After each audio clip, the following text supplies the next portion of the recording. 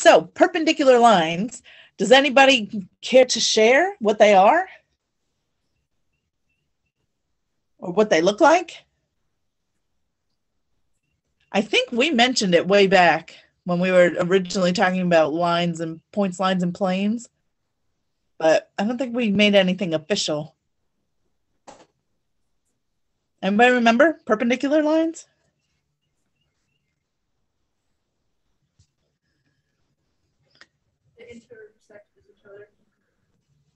They do intersect each other. How? Uh, cross. Isn't it like X? Like right in the middle? So the thing that has to happen for lines to be perpendicular is that they have to intersect at perfect 90 degree angles. That's what we need. So it has to look per it's got to be spot on 90 degree angles all the way around. So it can't just be any two lines that intersect. It's got to be intersect at 90 degree angles, okay? So lines, let's go ahead and define them. Lines which intersect at 90 degree angles. Okay, so this is like um, the x and y axis of the coordinate plane. They're always perpendicular to each other. That corner right there is always a perfect 90 degree angle if you're looking at a coordinate plane, right? So again, it's got to be marked though. So if it's not marked, if these are just two random lines, I don't know that they're perpendicular until I come in and I do that. All right. Or something has to tell me that the lines are perpendicular, just like always. So I'm actually going to put a big star here. You can never assume two lines are perpendicular.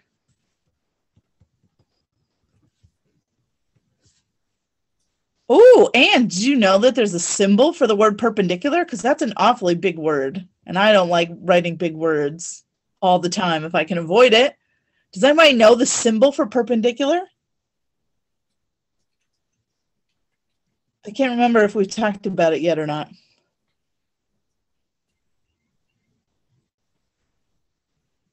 No, maybe we haven't. It's basically a capital T that's upside down. So it looks like this. That's your symbol for perpendicular. So now you don't have to write that word anymore. You can just do that upside down T. So much easier.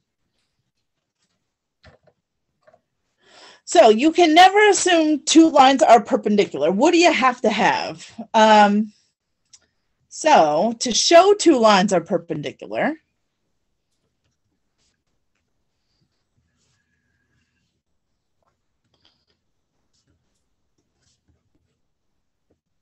here are basically your options. You can put the little box in the diagram like I did here. So one option is uh, put little box in the diagram. That's one way. Okay. Or, oh, my camera froze again. For goodness sakes.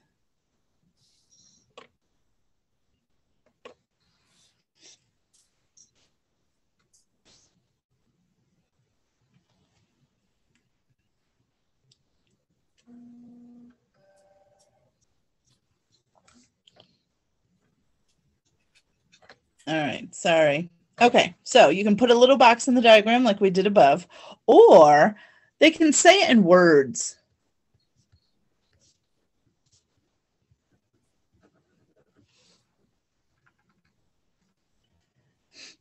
All right, so let me show you what that might look like. You might have two lines and they might look perpendicular, but you don't know that they are until, let's say this is line L and this is line M. So in the directions, they may state line L is perpendicular to line M.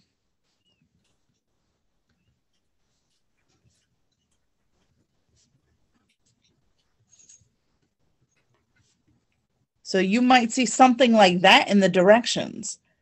Um, another shortcut that is sometimes taken, instead of like writing it all out like that, they might just put over in the corner something like this. That notation right there, M with that upside down T and then L, this notation means line, line M is perpendicular to line L. So that's another way um, that you might see it kind of done out in the diagram. Honestly, the easiest way is to just put the little box in there, right? That's so simple. But sometimes it depends on the diagram. There might be too much other stuff in the way. So sometimes it just doesn't work out to put that little box. But I mean, that's always my first choice because that's so easy. But my point is, if you don't have one of these things, if they don't tell you somewhere or they don't mark it in the diagram, so if you just had this diagram without any of these words, you don't know that L and M are perpendicular to each other. You have no idea. You can't say that until I give you something like this. Now you're like, oh, okay, the two are perpendicular. So now I know that those, all four of those angles are 90 degrees or I could have set it up in the directions. Um, but some you can't just go around saying that two lines are perpendicular without something to back it up. Okay, be careful. Be careful. By the way, a lot of times we think that um, perpendicular lines have to look like this plus sign. One's going up and down, one's going side to side. That doesn't have to be the case at all. They could certainly be on a slant as long as these angles are 90s. So these are still perpendicular lines, these two here. All right, even if the lines are tilted, doesn't have to be perfectly up and down and side to side.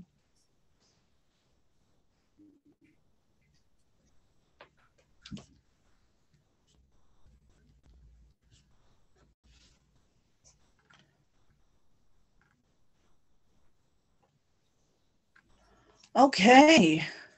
How are we feeling so far? Because believe it or not, that's that's pretty much it. I'm just going to take a peek over here at your homework and I'm going to the most of the questions that I ask you are true false style questions. So there is no work to submit today. Um, so let me grab the homework. Oh, that's not the right way to do that. I just want to make sure that I didn't forget to talk about anything, but I'm pretty sure that's it. Let me see.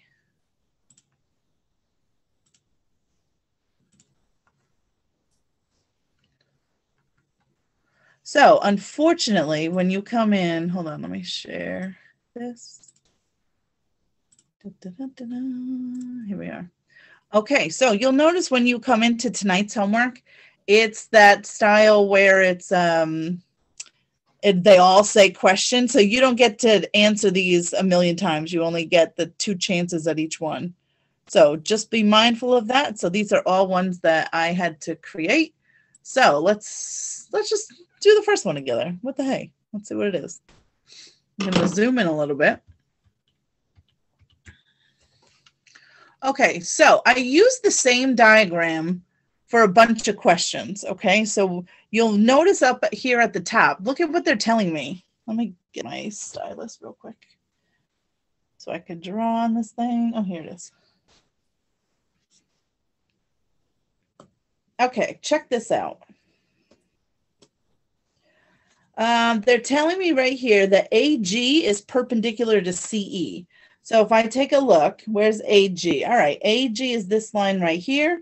And then CE is this line right here. So they're telling me in words that those two are perpendicular. So it might be helpful to go ahead and mark those on the diagram, even though they didn't mark it. Okay, so what I'm going to do, now that I know that AG and CE are perpendicular, I'm just going to mark that with a 90 degree angle because I know that to be true. I didn't just come in and say, oh, that looks like a 90 degree angle. They told me up here in the directions. All right, so let's do the same thing with the next one. Um, AC, so that's this, is perpendicular to BF. That is, oh, by the way, this F right here is supposed to be on the line. That's just a little typo. It is supposed to be there. So my apologies that it's a little off. Okay, so BF is right here. But lucky for me, look, they've already marked it in the diagram. They already have them marked with 90 degree angles, so I don't have to do anything there. Um, and then it also tells me that point B is the midpoint of AC. Determine whether the following is true or false. Okay, great. So let's take a look uh, what they're asking me right here. Is angle 1 congruent to angle CBD? Let's see. Here's angle 1. Angle CBD. Well, that's this one here. Is that true or is that false? With those two angles that I just marked, are those actually equal to each other? Someone tell me. Yes. I think I heard a yes. Yes, they are. They're vertical angles. Not only are they vertical, I can actually tell what their degree is. They're both 90s, aren't they? Because those lines are perpendicular. So, yeah, this one's absolutely true. All right, let's, oh, let me let Evan back in. Okay, so that one's true. I accidentally kicked the power cord. Oh, it's fine.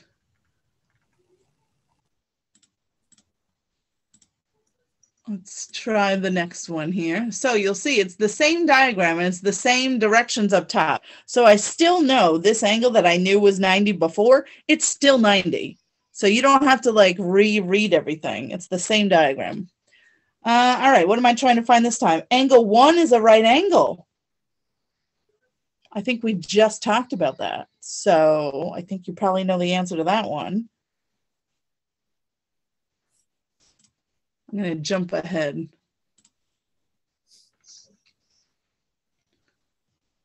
Hmm, looks like I moved it over a little bit. So that one's still a 90. All right, let's see what they're asking me. Angle one is congruent to angle two. Oh, interesting. So remember, these are all true falses. Angle one, they're asking me if I know for a fact that it's equal to angle two. So I wonder if you would have some way to know for sure that those two angles are equal to each other. I don't know about this one, but I'll leave that up to you. Okay, and then I think, let me just uh, pick this random one down here. Um, oh yeah, and then at the very end, uh, they're not true false questions anymore, but uh, since I was using the same image, it's going to say in the picture, determine whether the following is true or false. It's not a true false. You're just going to answer the question right here. So if angle three is 120, I want you to find the measure of angle two. That's totally doable. If three is 120, you got to find two. Here's my hint. Ta-da! So this should be relatively quick. All right. I'm going to, um, what I'm going to do is, let's see, it's 10.03 and this class ends at 10.25. I'm going to give you until 10. Uh, let's do 10.15. Yeah. This, this whole assignment should take you like five minutes, maybe. So let me give you until 10:15 and then at 10:15 I want to do sort of a quick little review activity to sort of close out the day. All right? So everybody hop on over to Delta right now. Let me go ahead and stop this